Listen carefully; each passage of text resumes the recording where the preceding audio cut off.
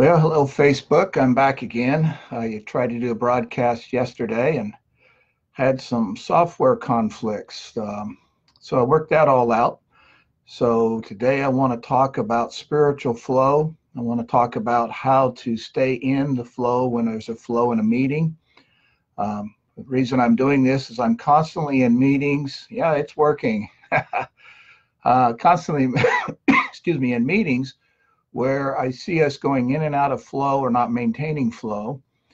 And in the past, when I've seen real moves of God and uh, that are sustained, it's because the spiritual flow of meetings were sustained.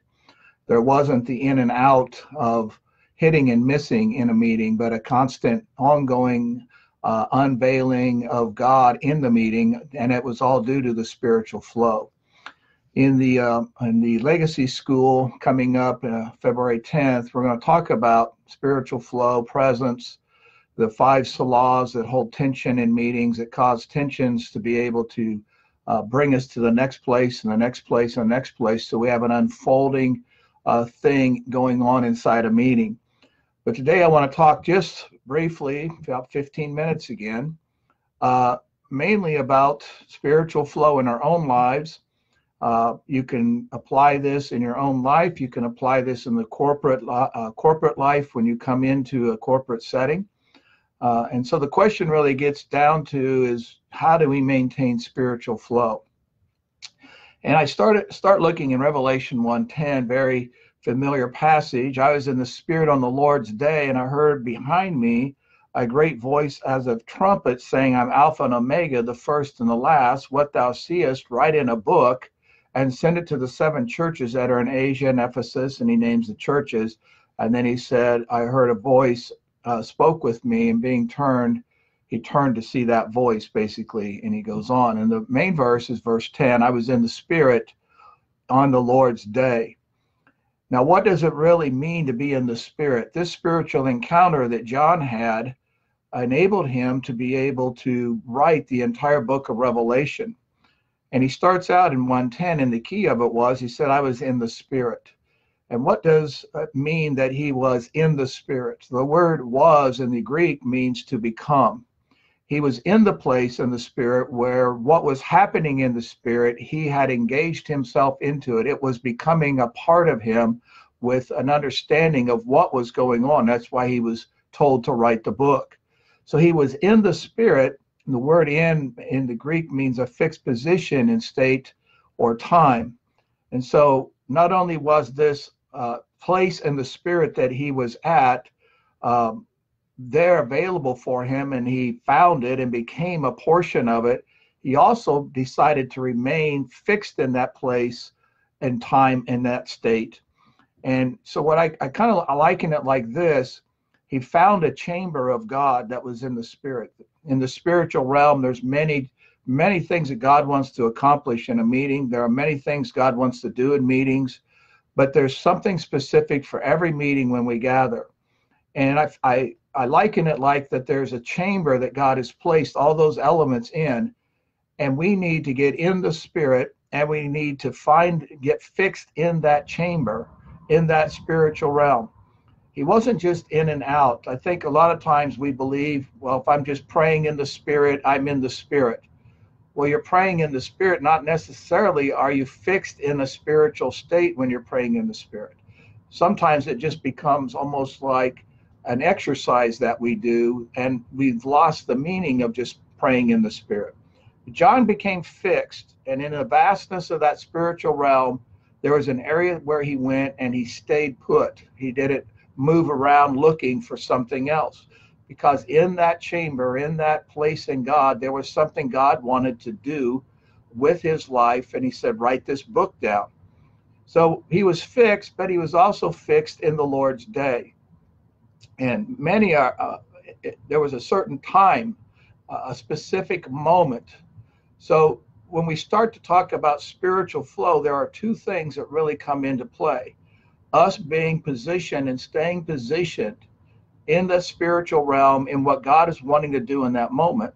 And also realizing that that moment is a specific moment of time, a specific place in God. And those are the things He's wanting to bring out that we can all benefit from those things. Uh, I think that sometimes, you know, we we drift because our mind is drifting and different things.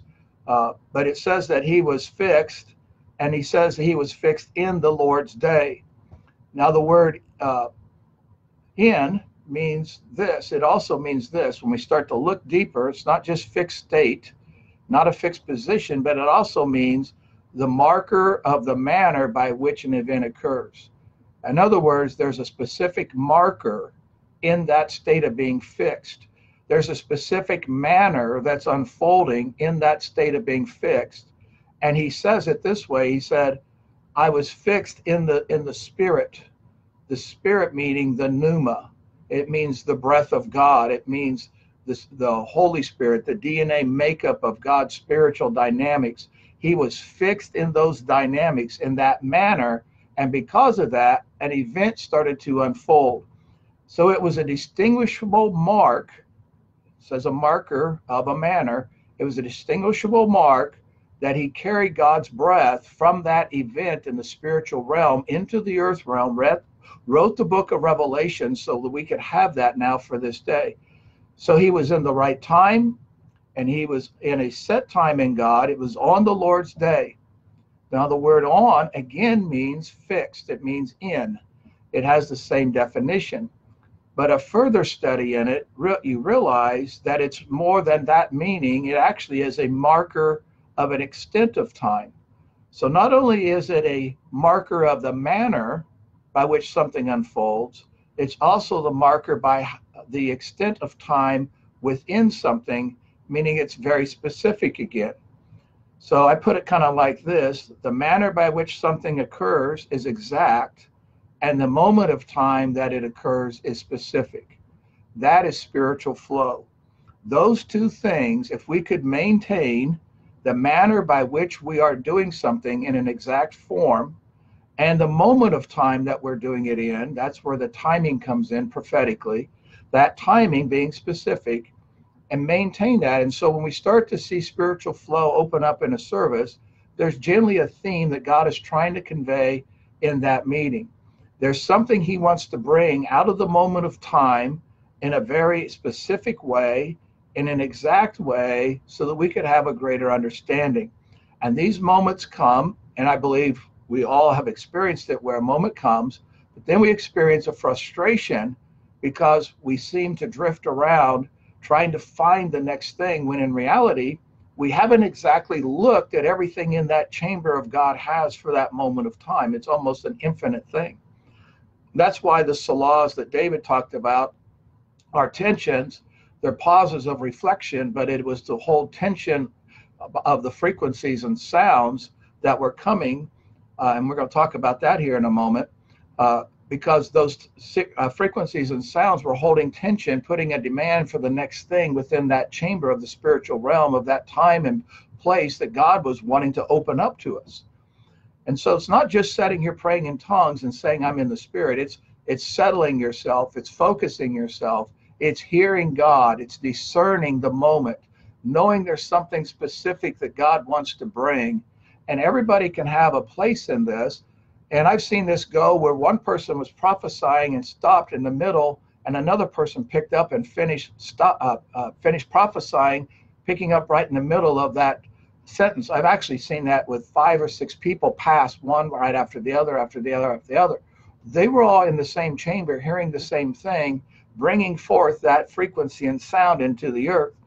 And so, as we start to maintain specific times uh, and exactness in the spirit of really hearing God and being in the spirit, being fixed in the spirit, we'll be able to open up realms of God in meetings, bringing the presence in a greater and greater way, uh, an understanding of what God's trying to convey in that meeting, and accomplishing the will of God in meetings. How many times do we go into a prayer meeting? And we're praying all over the place. We're not we're almost like we're just focused. We're trying to we're trying to find something that we can hit on instead of just selling ourselves and listening for a moment and saying okay god what do you want to say in this meeting? So his spiritual ears his ears his spiritual ears it says he heard a great voice. The word heard means to understand what's being said and to perceive it. Uh, like a teacher considering it, giving ear to a teacher that's instructing. But it also is directly connected to the sound of an instrument, meaning there's a frequency that God is bringing. There's a certain sound. It's a life giving sound that He wants to bring into our meetings.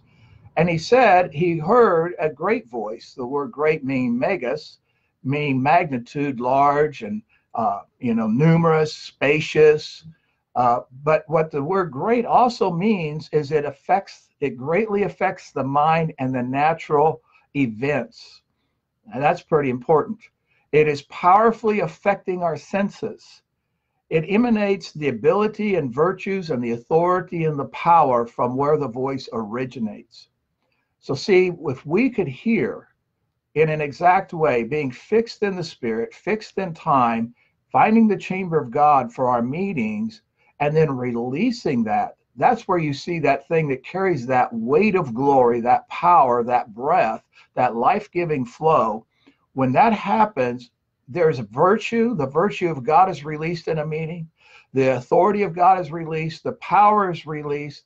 People's senses are affected. That's where we see people literally falling down and no one's praying for them.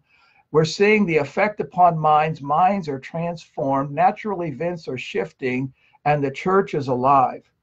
And so it's also correct. It's also connected with frequency. And, it, and when you start to look at the word structure even more, it's talking about great, meaning the upper range of a scale of extent, meaning that it's the upper range. It's not the lower range. It's not the normal range. It's not what we've gotten ourselves accustomed to. It is something that is beyond our abilities, our strengths to grab hold of. So that voice is carrying this frequency of heaven, wanting to come into our meetings, wanting to change how we are thinking, wanting to change uh, how we ver- see the virtue and the power and the authority that's been given to us, and to see that start to be exercised inside of our meetings. That voice that tr- had a sound of a trumpet, he said, meaning there was a frequency that was speaking to him. That's why when we hear things in the spiritual realm, being fixed in that place, sometimes we're having to decipher the frequency of it, and it may take a little time. But he maintained that flow. And this is the thing to think about. He maintained that flow. He allowed the moment of the flow of being in the spirit to expand within him and became a portion of it. Remember, he was in the spirit, which means to become. He became a portion of that. And actually, I put it this way he turned his being into the experience and turn and, and into that to care literally becoming what he was experiencing in the spiritual realm. And then from that point he turns to see this voice that was sitting there. He writes down he publishes he gives this out to the church. And today we're still watching looking uh, peering into the book of revelation which is the revelation of jesus christ it's not the revelation of end time prophecy it's the revelation of jesus christ and he maintained that flow to write the entire book. And I understand what that is like when I wrote the uh, Breath of God book uh, in 2014, which is a prophetic understanding of where we are as a nation and what we're going through as a nation.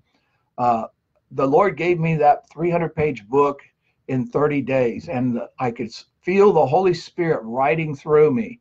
And I was experiencing what John was experiencing when he wrote the book of Revelation.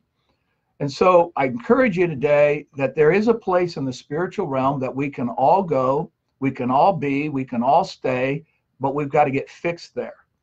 And that means you got to get the distractions out of your life when you come into meetings. It means you need to settle issues of the heart before you come into a meeting.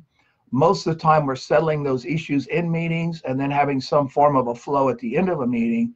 But God wants us to settle those at the before we even get there and walk in and start to find the place in the spiritual realm where we get fixed.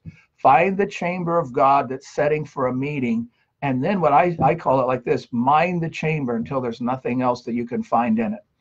Mind that chamber, stay in that flow, stay in that place where God is speaking with a life giving sound, where He's bringing His great voice, not just our voice, We don't want our voice. We want God's great voice to come into our meetings. We want Him to uh, to be uh, glorified and to see His authority and to see His power come and to see what He might do in a meeting. And so, getting fixed is key. Getting fixed in the Spirit and staying there. And the other thing that's key is knowing there is a moment of time for every meeting. We have a meeting tonight here. There's a moment of time that God wants in that meeting, and it may be the entire meeting. If we can get fixed quickly, the moment will unfo- unfold sooner, and we can stay in the moment longer. So, you know, people come in with needs. I, I mean, at one point we were praying for people at the door so their needs would be met, so we didn't have to wait to the end of a service because we wanted to get in the, into the spiritual realm and get people fixed into that realm. Well, I hope this is a blessing to you. We're going to have more of this kind of teaching at Legacy School, legacyschoolonline.com. You can we have a Facebook page. You can sign up. In two weeks, we're going to talk about maintaining the presence of God. How do we build an atmosphere for the presence of God? This is one of those ways of doing it. We begin to pull heaven into the earth. We begin to pull the things of God into the earth where we can access those things and others can access them. We publish them, we decree them, and we begin to see God move. Uh, and we're going to talk about portholes, how to open up openings into the heavenly realms, how to maintain them, and how to expand them. We'll talk about the selahs of God and the tension points of God that come in meetings. There's literally five selahs that come into meetings, almost every every meeting, and it's about holding tension until the next thing opens up, and that is about being fixed again, just like John was in John in Revelation 1:10. He was fixed in the spirit. So I encourage you today, stay fixed in the spirit, find that place, stay in that place till that place becomes I was, I was fixed, till I became that pneuma, breath, spirit, till I became that, and then I voiced that into a meeting. And I guarantee your meeting is going to begin to change. God bless you. This will be up uh, when I'm done for you to review it. If you didn't get the all the information, at the beginning, came in a little late. That's fine. Uh, it'll be archives here. So God bless you and thank you for tuning in today.